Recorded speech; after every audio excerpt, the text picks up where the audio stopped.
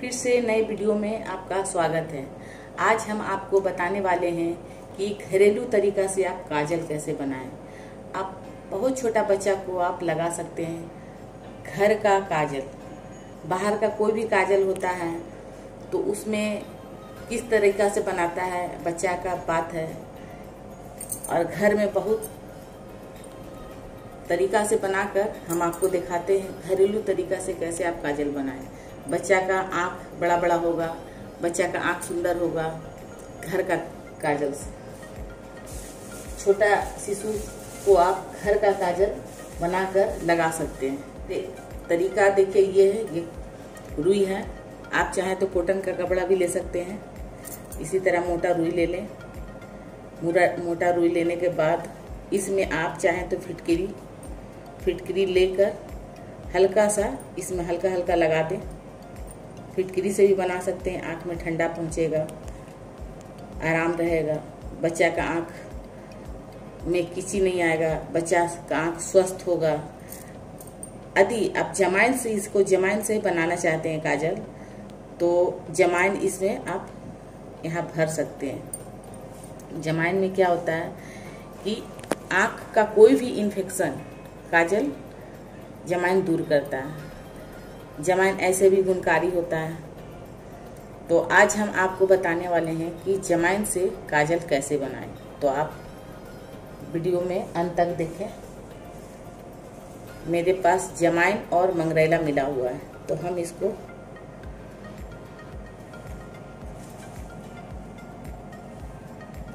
इस तरह करें आप। थोड़ा थोड़ा इसको दें। रुई की मदद में धीरे धीरे इसको भरें। आपके पास केवल जमाइन है तो आप जमाइन से बना सकते हैं। पर मंगरेला मिला हुआ है तो कोई बात नहीं है, आप मंगरेला भी डाल सकते हैं इसमें।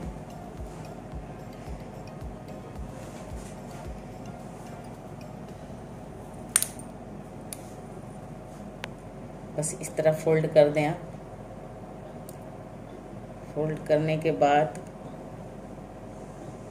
देख सकते हैं यहाँ पर हम सरसों तेल सरसों तेल की ही बनता है काजल सरसों तेल में भर दिया, भर लें। इसको फोल्ड कर दें अच्छा से। थोड़ा मोटा भी रहे तो कोई बात नहीं है। देख सकते हैं। जिस तरह बाती बनाते हैं, रुई का। बाती बनाएँ आराम से।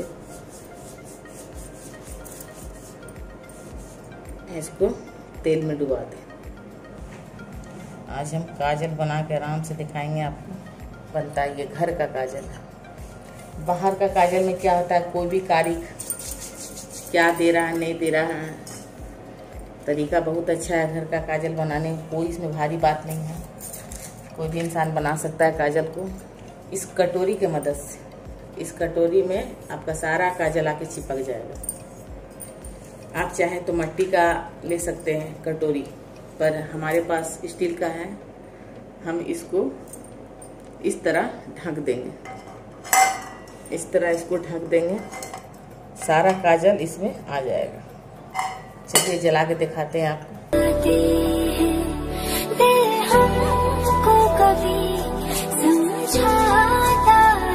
सकते हैं। सारा जो काजल है मेरा, इस कटोरी में आ जाएगा। कुछ इस तरह।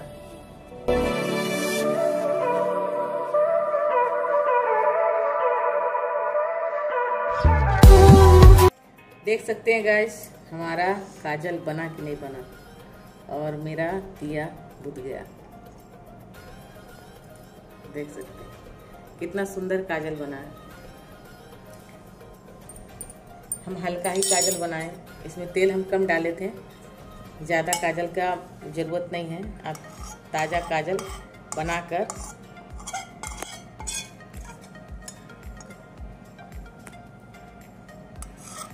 बस चम्मच की मदद से आप इसको इकट्ठा कर लीजिए।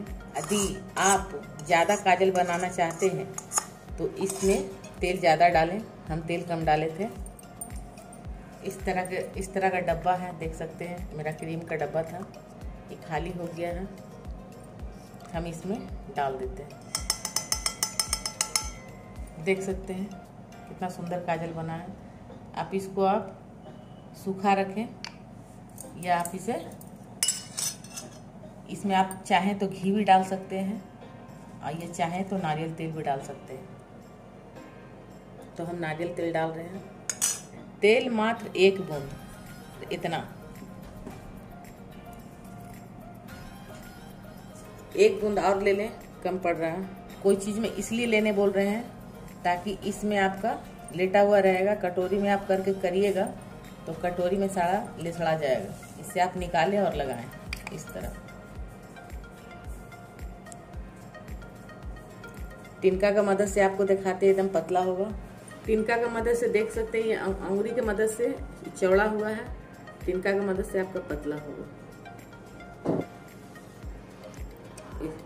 इस तरह आप काजल घर पे बना सकते हैं। अरे आप, आपका आँख बहुत सुंदर होगा, कोई चीज़ का शिकायत नहीं होगा, आँख से पानी नहीं आएगा। तो आपको मेरा वीडियो कैसा लगा? लाइक करें, सब्सक्राइब करें। धन्यवाद।